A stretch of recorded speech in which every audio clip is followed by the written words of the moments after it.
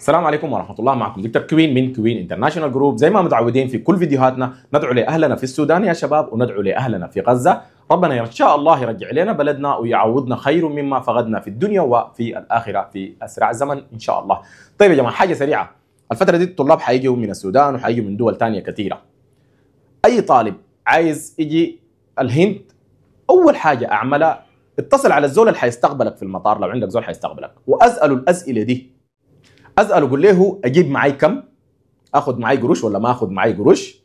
وإذا ما رد لك يا جماعة ما تحجز إذا ما رد لك يعني ما تحجز مثلا وتتصل على الزول اللي حيستقبلك في المطار وتتصل عليه وترسل له رسالة تقول له والله أنا بجي بعد بكرة أو أنا بجي بكرة.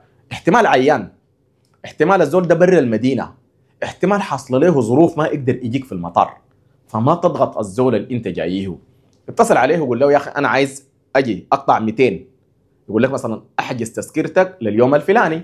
وأنت دار تحجز التذكرة يقول له والله حأحجز التذكرة. ها أحجز؟ يقول لك لأنه ما ممكن ترسل له الليلة يقول لك أحجز مثلا بعد 10 أيام. تقوم ترجع له بعد 15 يوم وتحجز تقول له أنا حجزت بعد 20 يوم. لا.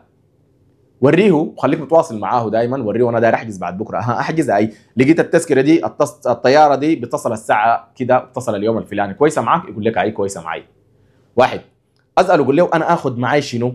آخذ معي شنو؟ بالنسبة للطلاب السودانيين الجايين بنصحكم بإنكم تاخذوا مثلا الفول المصري وفي واحدين بيكونوا محتاجين هنا لباسطه جيبوا لهم معاكم باسطه يا شباب.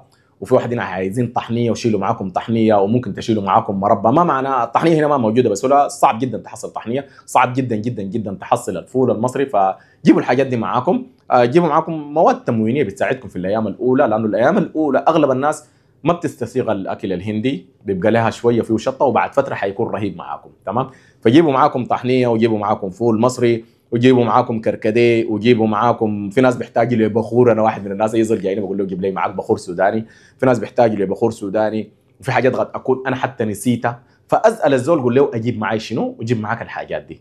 وكمان أهم سؤال أسأله إذا ما كنت أنت رسلت الرسوم الدراسية للجامعة أو رسلت عليه ودفعوها عليك قول له أنا اشيل معي الرسوم الدراسية كاملة ولا بعد ما أصل يرسلوها لي وأنا بحبس تشيل معك رسومك الدراسية كاملة.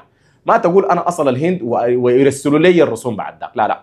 ما في زول حيسرقك هنا إن شاء الله. وما بيجي واحد مثلا بخط لك مسدس ويشيل منك رسومك الدراسية. لا. شيل معك رسومك الدراسية كاملة. وإذا مثلا قال لك بتكفيك في الشهر مثلا للإيجار والأكل والشراب 100 دولار أصلا ما في 100 دولار بتكفيك. مثلا 150 أو 250 دولار بتكفيك للشهر جيب معاك زيادة بتاعت 100 دولار ل 200 دولار حسب استطاعتك طبعا. ليش؟ الأيام الأولى يا جماعة لما تصل الهند بمجرد ما تسكن في البيت أنت حتتحرك شوية كثير غالبا ما حتسكن في بيت مفروش حتسكن في بيت عادي. حتحتاج تشتري مثلا ثلاجه حتحتاج تشتري مثلا كرسي زي الكرسي ده مثلا أو أي كرسي للدراسة وحتحتاج لترابيزة دراسه والله يعزكم حتحتاج تشتري ملاية وحتحتاج تشتري مخدة وحتحتاج تشتري لشبشب مثلا. وحتحتاج تشتري أدوات تنظيف للبيت. الحاجات دي كلها حتحتاج ليها. فأكيد أنت الفترة الأولى حتحتاج لقروش زيادة. فشيلوا معاكم 200 دولار لحد لو ما عندك استطاعة طبعا دي حاجة ثانية لكن لو عندك استطاعة شيل ممكن من 300 لحد 400 أو لحد 500 دولار زيادة من القروش المفروض أنت تكون معك شهريا. فشيلوا معاكم قروش زيادة يا جماعة. وبرضه ممكن كمان تعمل حاجة. تعرف المدينة بتاعتك اسمها شنو؟